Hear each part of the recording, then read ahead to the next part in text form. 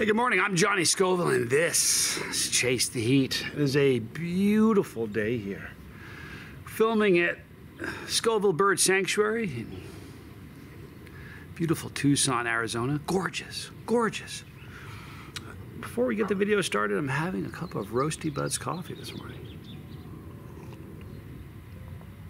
A little Carolina Reaper coffee, actually. Uh, today I'm doing a review from one of my favorite sauce makers, for real. High Desert Sauce Company, Zach and Dana Perkins. Just great people. Make great sauces. And this is uh, who doesn't love sriracha? You know, um, sriracha's become a, such a thing. It's uh, I don't know. You know, it's it's to me it's more of a condiment than a sauce. But High Desert Sauce Company is going to change that up because this is their Ghost Racha. Sorry for the shadow. Ghost Racha. So here we go. It's the Red Label Reserve, people. Uh, it's sweet, salty, and garlicky, and hot. And hot is capitalized, all three letters. H-O-T, hot. This simplistic sauce features a foundation of red bell pepper, and who doesn't love red bell pepper? I do. Uh, we add lots of garlic, agave nectar, and way more ghost peppers than they needed. Way too many, it says so. A little more salt than they normally used, also. Try to make sure we get your forehead sweaty, your esophagus burning, and your tummy rumbling. That's their goal. Slight trepidation may be present at this stage. Not to worry, this is just the start of a painful pleasure. We, wanna, we want you to question the unfortunate possibilities moving forward. Tread a little lighter. Enjoy. I love that. Shake well and enjoy, people. They reckon three out of five stars or skulls. They even use flames. They use skulls. Uh, you see the skull and crossbone there? Sorry for the shadows. There you go. Skull and crossbones. There you go. Sorry about that. All right, so here are the ingredients, people. Uh, pepper mash, which is water, red bell pepper, ghost pepper, and chiltepin pepper. Distilled vinegar, garlic, agave, nec- agave nectar, and kosher salt, and that'll be it. Oh man.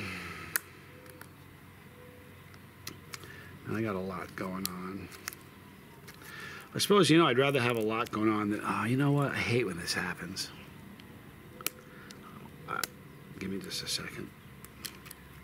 I do have a lot going on. I, I, it's really a strange time in my life because I have so much going on that I actually need. I tend to be a list guy for some things, but now I have so many big things like projects, like projects going that I got. I have a list for. Uh, beautiful color on this sauce. There's the uh, consistency of it. Now, the hallmark of a good sriracha sauce is that sweet, salty. Kind of got the sweet thing going too. Wow. Smells, are, uh, the, the aroma is just incredible. It's just, it's seductive. Whew. Wow. All right, so here's the pour, people. I'm sorry for the shadow, but here it is what it is. There's the pour. Look at that. Gorgeous goodness pouring out. Oh, look at that. Oh, my goodness. He saved it, people. There we go. From High Desert Sauce Company, it's a Ghost Racha. No spillage. You see that? Huge spoonful, no spillage. I'm Johnny Scoville, and this is Chase the Heat.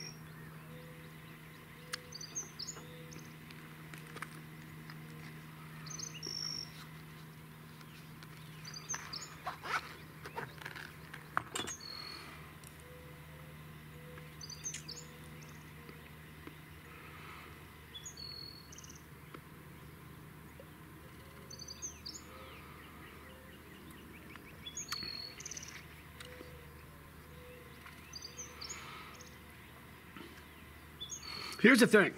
Um, boy, this changes the sriracha game.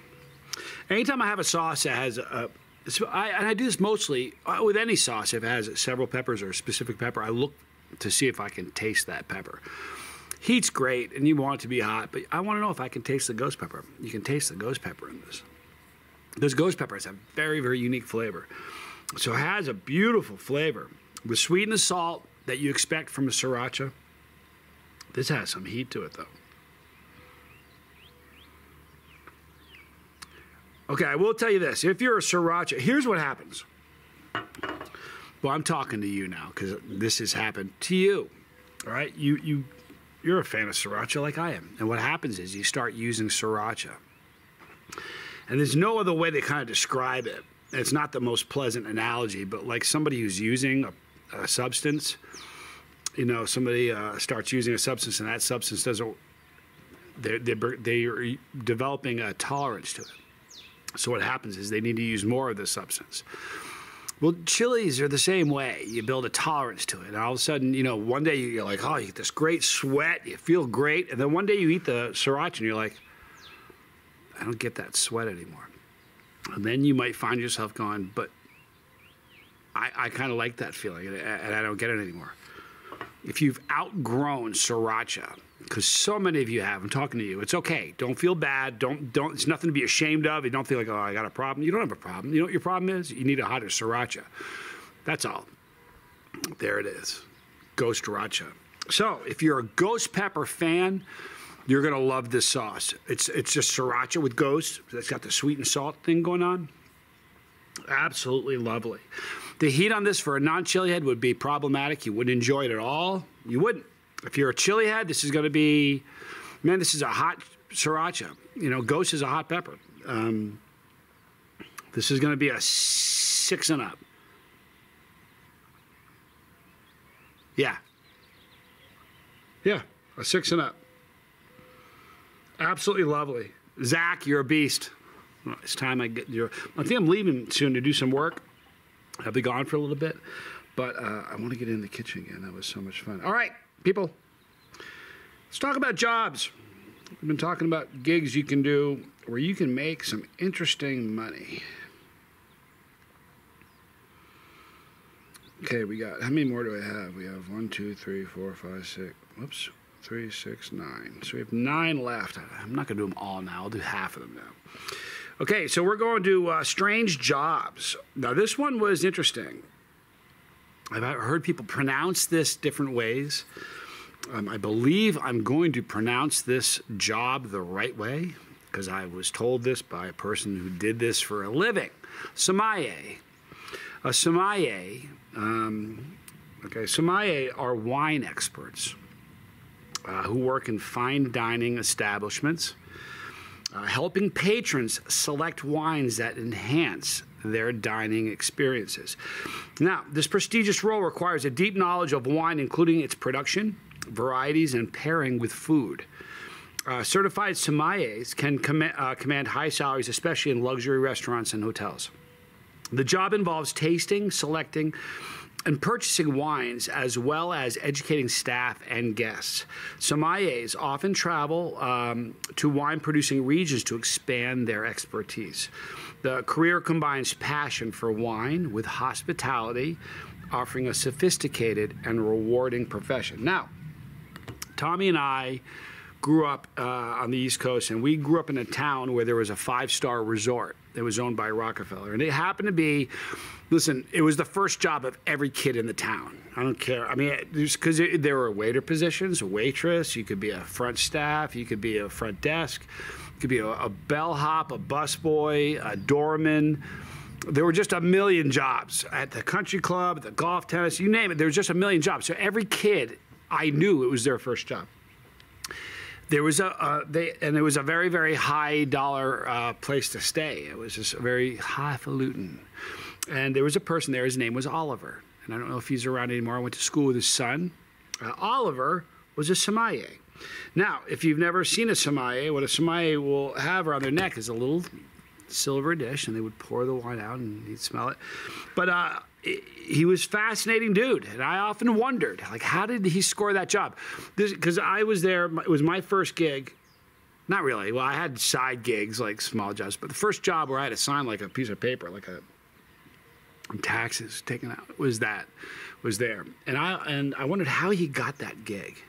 I wonder if he's still there. I wonder how much he got paid. But he was a Samaya. It was his gig. He just walked around. He, they'd say, you know, they'd talk to him, say, "This is what we're planning on ordering for our food. What wine do you think would accompany this best?" And he would sit there and discuss. And it was fascinating, interesting. I could be like a pepper Samaya. You know what I mean? You go into a restaurant.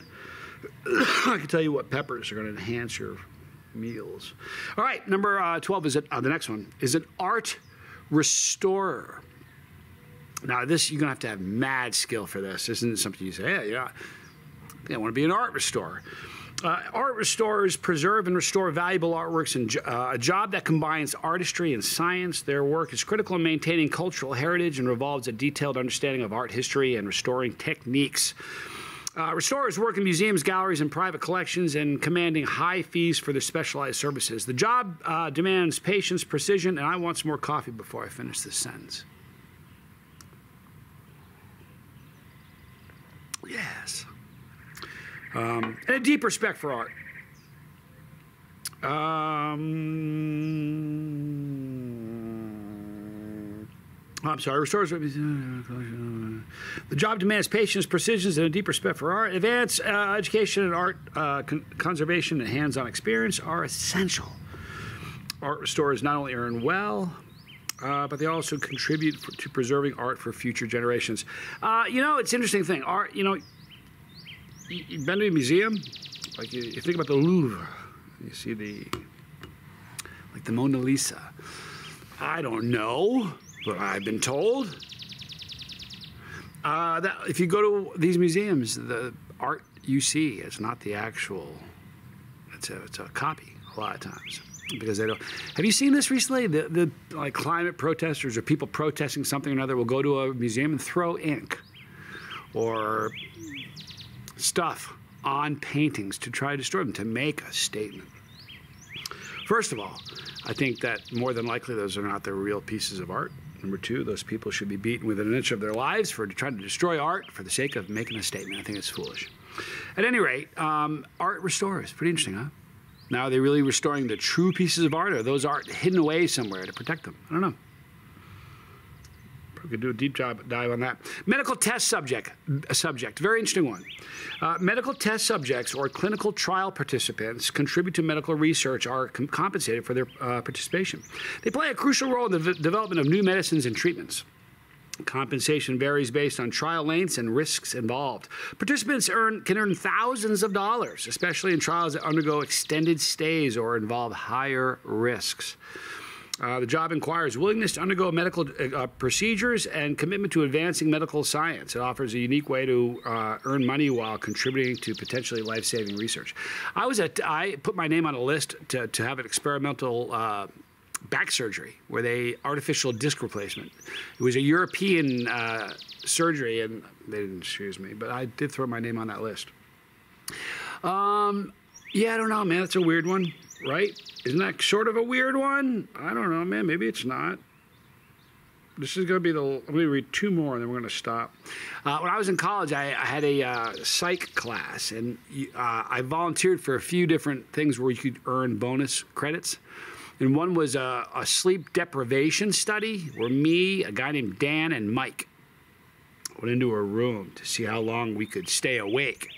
It's all voluntary, you know what I mean? And you couldn't, you could have all the coffee you wanted, drinks you could have, you know, movies. There were VCRs back then, magazines. We watched TV. We were locked in a room, and we see how long we could stay awake. We, we almost killed each other. Everything was fine, and then we started fighting. I remember uh, there were people in there separating us. Like we, we got into a fight. And I don't really remember why. Uh, next is a personal shopper. This is gonna be the last one for today. A personal shopper. I bet. Would you like to do that? Shopping to me, I'd rather jump off a bridge than shop. Like when I shop, when I go somewhere, I know what I need to get. For the most part, I know where it is. I almost know what aisle it is. I pretty much know what it's going to cost. I know what store it's going to be at. I, I, my job is to get in and out, execute this thing as fast as possibly, like with, like like it's an exercise. Like I'm I, seriously, I go out and I, I can't stand like shopping. like walking around, looking at stuff, waiting for something to jump out at you. Wow, I can't fathom a, a, more terrible way to spend time, but some people are into that. All right, listen to this. This could be you if you like this. Personal shoppers provide a bespoke shopping experience, often for wealthy or busy clients. They earn money by selecting and purchasing items on behalf of their clients. From clothing to groceries, experienced shoppers can build a lucrative career. Uh, especially if they have a network of high end clients. The job requires a keen sense of style, market knowledge, and strong interpersonal skills. Personal shoppers often enjoy perks like travel and uh, access to exclusive pro- um, products. It's a career that blends retail knowledge with luxury of personalized service. Interesting. You know what's really funny? I can't ever see getting to the point where I would use that. I have a personal shopper. Um, I don't know. Nah. Um, interesting job, though, right? All right, we're going to wrap up now. Um, got some more interesting jobs to tell you next time. Uh, we, right, right here, right behind the camera, is a big gazebo we're building. Oh yeah, can't know how much fun we had yesterday. You know, and if you saw, just wood everywhere. And, but it's going to make a great place for filming. Listen, tell somebody you love them today. Be kind to somebody, please. Life's too short. In the description box, you're going to see a link for Zach Perkins at High Desert Sauce Company. HDSC. It's a great company. Please check them out. Great sauces. If you like sriracha, you're going to love Ghost Racha. You will love it. Please try it. And you'll see the link in the description box. Right there is my son, Johnny Scoville Jr. Right there is my brother, Tommy Scoville. Right there all of the challenges I've done. Some silly, ridiculous stuff. If you haven't checked them all out, they're right there. Right there. That's Pepperology for all you new chili heads. I love you guys. Great day ahead. I'm Johnny Scoville, and this, ha, this was Chase the Heat.